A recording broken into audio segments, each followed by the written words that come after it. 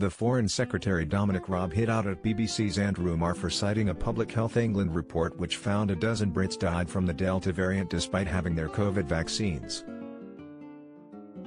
The latest figures published on Friday show that 42,323 cases of the Delta variant first identified in India have been confirmed in the UK, up by 29,892 from last week.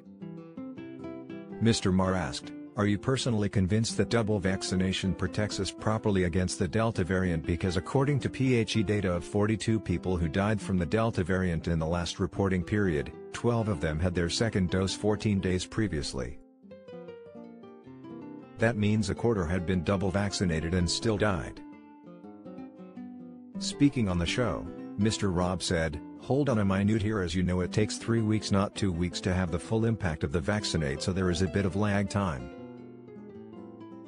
It depends what the overall numbers of people in the vaccine of the pool that you cited.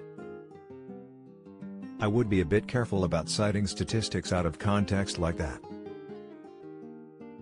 I know you want to test the thesis that we're putting forward but we are confident in the safety of the vaccine and you've got to compare it to not getting the first and the second dose and the risk of COVID. More to follow.